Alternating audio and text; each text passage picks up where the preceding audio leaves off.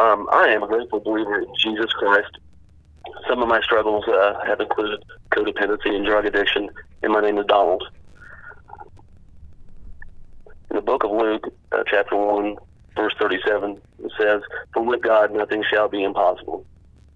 My story begins um, February 23rd, 1972. That was the day that I was born. And I was headed out of the birth canal, and everything seemed to be going as planned. And uh, that was until I decided to turn around and try to come out feet first. I guess I wanted to hit the ground running. Uh, but the doctors didn't let that happen. And the doctors didn't let that happen.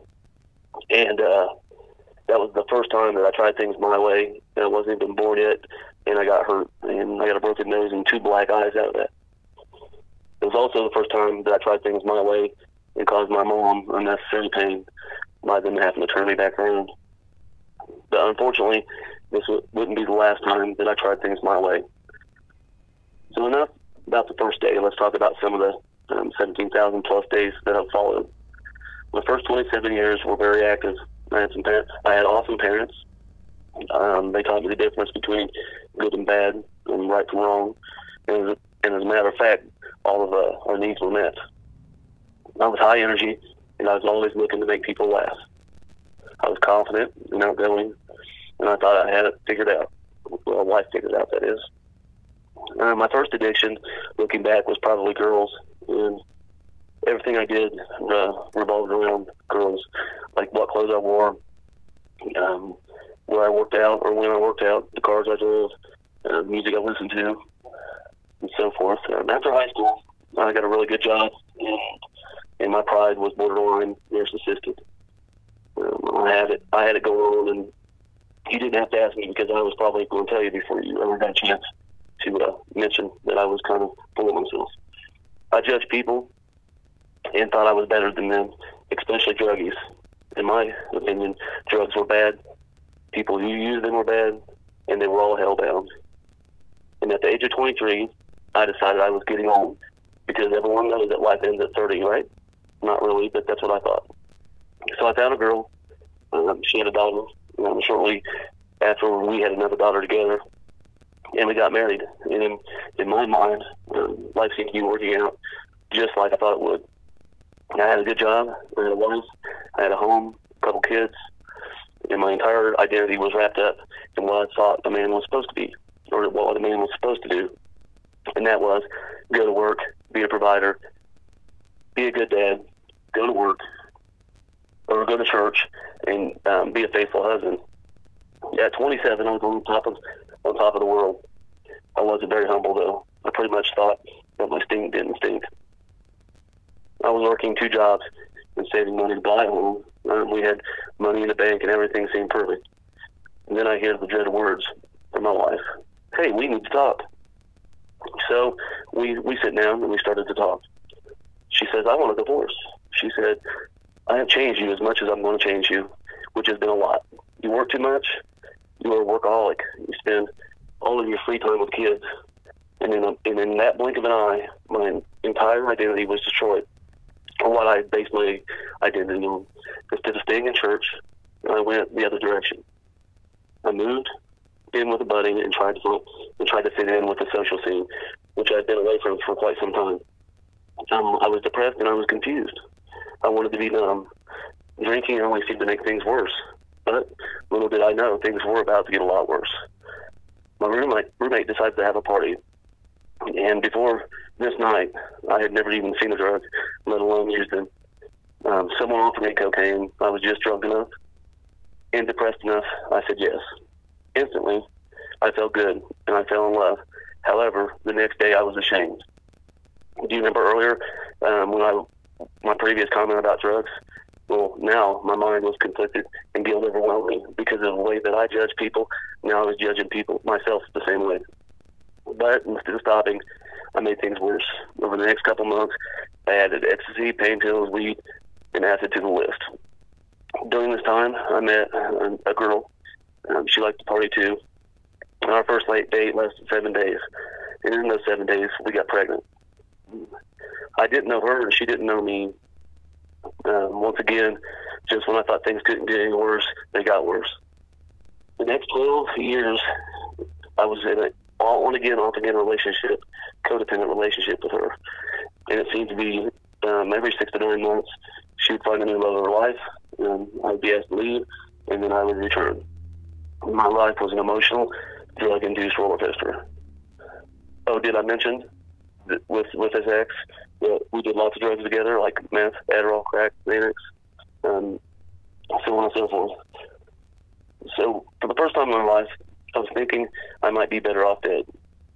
I was having first time um, suicidal thoughts. Ironically, uh, my view of suicide in the past was heartless and very uncompassionate, much like my uh, viewpoint on drugs.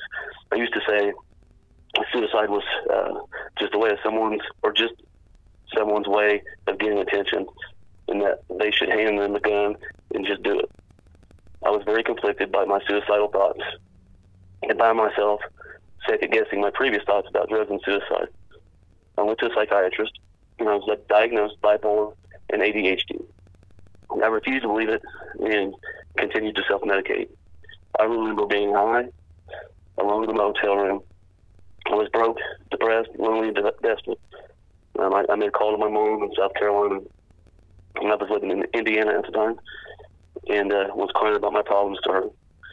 Um, I asked her for money. She said, "Let me call you back." Um, later, my phone rang, and it was my mom. She said, uh, "I talked to your dad, and we're not sending you any money, but you have a place to stay if you want to come down here and get your head up." So the next morning, I went for South Carolina. It was around 2005. I told myself I was only going to stay for a couple weeks. One of the mess on our lives. I was heartbroken, feeling like a failure, all while not realizing what going cold turkey was going to be like. Because for the first time since I started doing drugs, I'm not. I, I didn't have any, anything at my uh, availability. Of course, in my mind, I still wasn't a drug addict because I could I could control it. My secret was safe. I stayed sober for 18 months. Well, I only drank and took pain pills. That's sober, right? I got got on meds for my disorder. Two disorders. Life was looking up. Um, was going well. And I started hanging out with a coworker. Little did I know, he sold cocaine, weed, and ecstasy. Life was back in the fast lane. We partied hard seven days a week. I was driving him to get drugs and then driving him to sell drugs. My life was out of control. Once again, the cops were uh, pulling us over on a regular basis, and we kept getting lucky. Then one night, he was in a hurry and didn't wait for me, and uh, he got busted and went to prison. And instead of me getting out then, I just took over his clients and his connects, and um, I kept on trucking and with my addiction and with my newfound profession doing drugs. I would go on um, to be uh, robbed by gunpoint there several times. I was tired and I wanted out. Well, I didn't realize it at the time. Um, in Psalms 40, um, to, or yeah, 40, 12, I'm sorry. From numerous evils had encompassed me. My sins have overtaken me, so that I am not able to see. They are more numerous than the hairs on my head, and my heart has failed me. That's how I was feeling at the time. Just didn't realize there was an answer, and that answer was Jesus. So, guess what? I took a break, but I still didn't get out. After all, I wasn't a drug addict. I left South Carolina and moved back to Indiana. Now, the two weeks that I originally was going to go down there for turned into four years. So I got two jobs when I moved back to Indiana and eventually my own apartment. And I was back taking my psych meds again, and I was sober again. Well, I was only taking pain pills and Adderall, right? So what if they were prescribed to me? I was sober. Things, however, were pretty calm for the next few years. Did I mention I tried Suboxone and Subutex? Still not, still not an addict though. I moved um, from Indy back to my home or near my hometown, and not realizing it had become um, a place of major drug uh, drug epidemic. There was one going on at the time. I was still using uh, Subutex daily until my guy got arrested, and needless to say, I really got dope sick for the first time of that because um, I hadn't really been an opiate dope sick before until now. And when I got hard at work. I thought I, I was lucky. And people say, how can you be lucky almost severing your finger? Well, I knew I was getting pain pills. And the pain pills actually helped me get off Subutex. And around that time, my parents moved back to Indiana, and I moved uh, in with them. And I stayed pretty low key for a couple of years, and I was um, on my medications again. And and every now and then, um, I took a pill every now and then, and thinking it wasn't going to kill me, right? No, when I say pill, pain pill, Adderall. So I did a very good job. Um, once again, another great job because it's a normalized uh, pattern there. And once again, things were going great. I was even talking to my son's mom again, you know, the one I was in the one of the like a relationship for 12 years. Not a good idea, huh? But I did it anyways. And um, during that time, one rainy day in a job site trailer, I was offered a line. And not this time, and it wasn't Coke this time, it was meth. Needless to say, I was back in the fast lane doing lots of drugs at work and with her. And, uh, when things went south with her, which I know shocked her, right? I lost my job because I couldn't make it to work on time because of the drugs. So what do I do? I start dealing drugs. Now I was in a deep, I was deep in the game, and the game was not kind to me. I started injecting uh, and coke. Long until I injected heroin. First time I injected heroin, I overdosed. And only by the grace of God that I'm alive. It just didn't slow me down much. As a matter of fact, a few weeks later, I witnessed my first overdose. The girl overdosed in my car, and my friends wanted to leave her on the ground. They were on the ground to leave her in the gravel. Um, I said, no, we're going to take her to an ambulance. Well, she got the ambulance ride, and I got the ride to jail with the, the police officers for that paraphernalia. I was in jail for about 48 hours, and um, got OR'd and left left and went up two blocks and had my knee, and another needle in my arm in 10 minutes of release. This was the fall of 2017. I didn't go to court on that warrant, and a warrant was issued.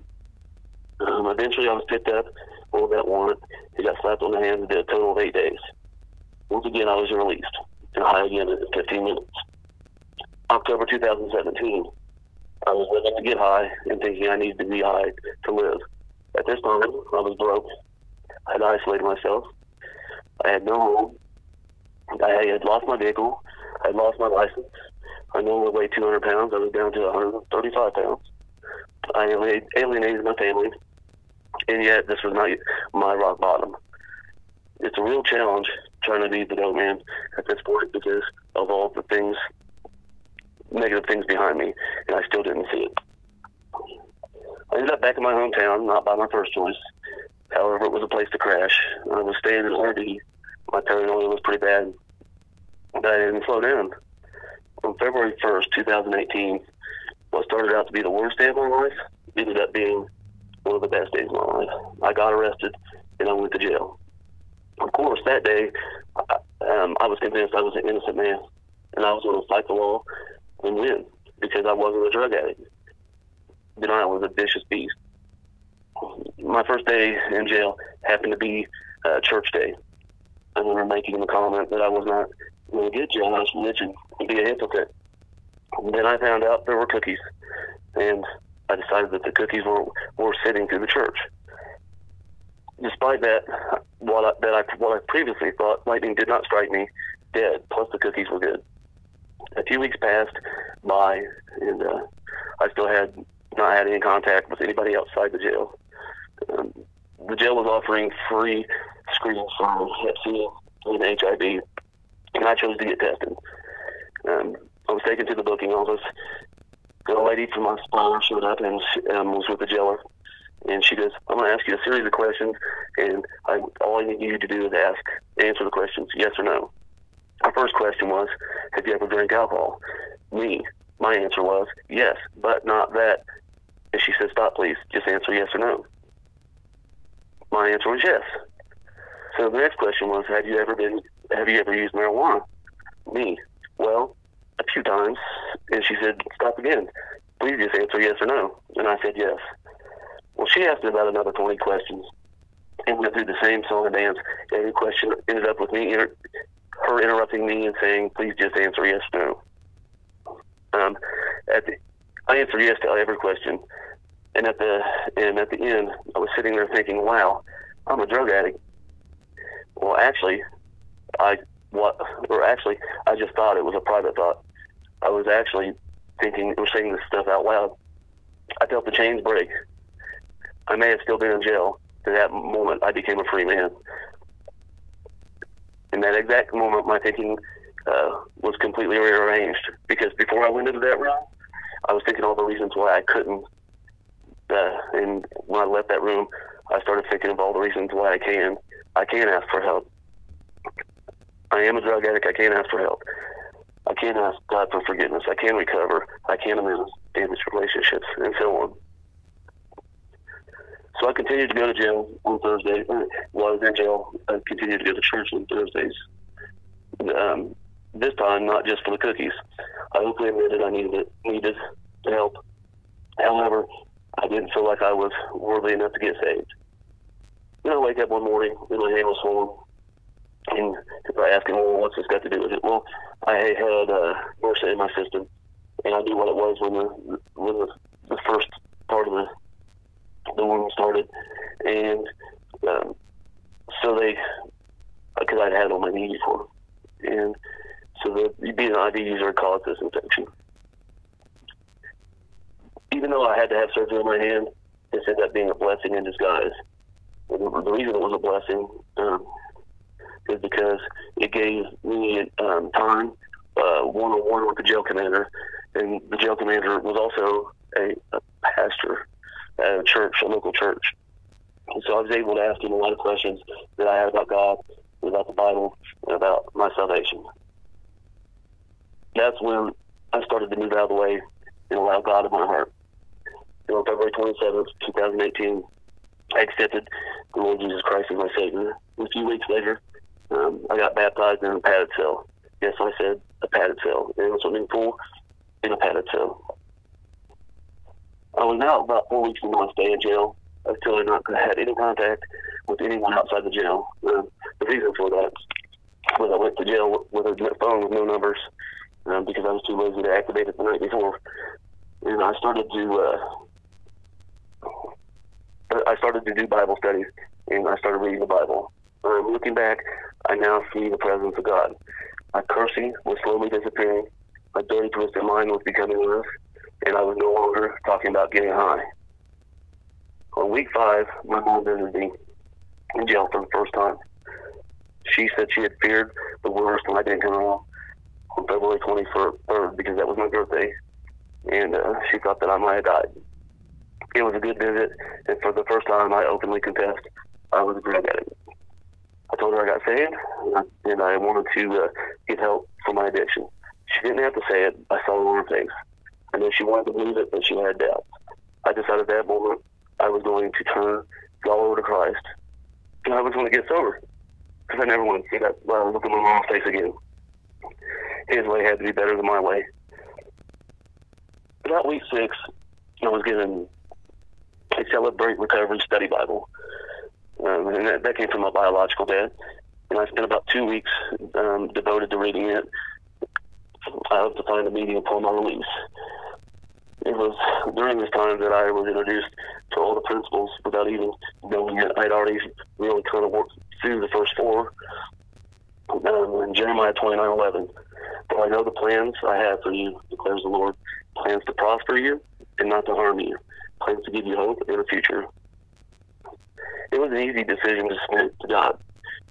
I obviously wasn't successful at making good decisions for myself. I also was realizing that putting God first produced favorable, favorable results. So I thought, why not ask Him to remove all my character defects? On April 1st, 2018, I was released from jail. Yes, April Fool's Day.